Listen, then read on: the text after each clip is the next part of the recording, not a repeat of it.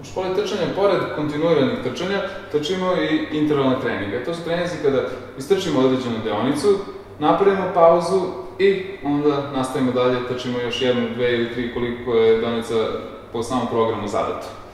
Tu pauzu treba najbolje moguće da iskoristimo. Prva stvar koju treba da uradimo jeste da šetamo. Znači da hodamo, da ne stojimo u mestu i da kroz to hodanje polako spustimo puls na puls približan onom koji je umirovan. Druga stvar koju treba da uradimo jeste da obratimo pažnju na, na mišiće. Da osetimo koji mišići su zategnuti, koje su možda da negde postoji spazam i te mišiće koji su zategnuti da dodatno istegnemo pre nego što krenemo u sledeću u sledeće, u sledeći interval. Kada smo povratili kisonički dug, kada smo istigli dovoljno mišiće, mi već možemo da krenemo dalje u sledeći interval, a za to je potrebno od 2 do 4 minuta.